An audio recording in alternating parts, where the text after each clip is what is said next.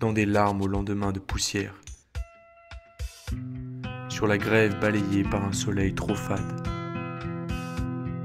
L'étranger vogue, dérive sans arrêt, s'effondre. Il cherche la lumière dans l'astre le plus noir. Le sable, l'océan ne peuvent plus rien pour lui. D'étonnants fragments animaux sont alors le signe du manque de vie. Le vent qui hurle comme un mort, qui annote ses fausses tragédies.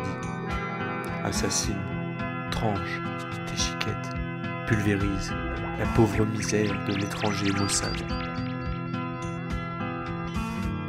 La dépression, misérable et sans beauté, fait place à l'orchestre des passions sur cette mer devenue terrible. Le sable aussi obtient son heure symbolique, quand sa couleur ou son évocation font de lui un mystère criblant, celui de la solitude. Tout a changé maintenant. L'étranger est à présent beau, ne s'est jamais senti si vivant, a tout perdu, est prêt à mourir. Il ne s'est jamais senti aussi splendide dans sa renversante colère, son désespoir grandiose devant la terreur de l'océan, s'apparente à la noirceur du soleil.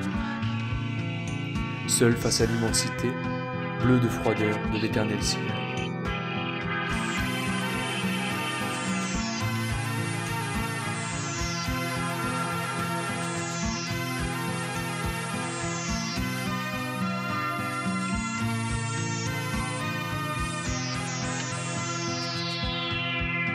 Là où les hommes ne peuvent marcher, les poissons naissent et meurent.